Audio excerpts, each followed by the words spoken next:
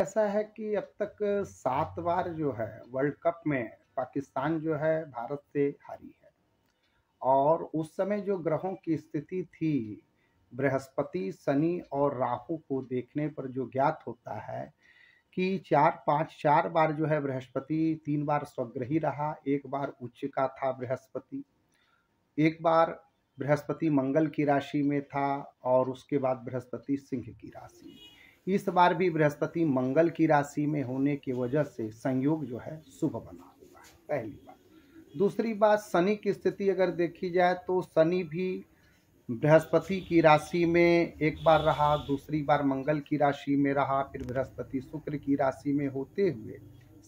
इस समय जो शनि की स्थिति है, शनि मंगल के नक्षत्र में है और स्वतः जो है अपने मूल त्रिकोण राशि में होते हुए मंगल के नक्षत्र में होने की वजह से इस समय अच्छा है, प्रतीत होता है, शनि की स्थिति। दूसरा, राहु की स्थिति जो हम देखते हैं तो राहु जो है, दो बार बुद्ध की राशि में रहा है, एक बार मंगल की राशि में रहा है। तो इस बार भी राहु जो है, मंगल की राशि में बृहस्पति के साथ होने की वजह से राहु की भी स्थिति मज़बूत बताती है और संघर्ष होगा। दो टीमों में उस समय जो दोनों का जो बनाया गया है उस समय की प्रश्न कुंडली से दोनों टीमों में संघर्ष होगा और अच्छा संघर्ष होगा लेकिन जीत भारत की हो, होने की संभावना प्रबल है। जय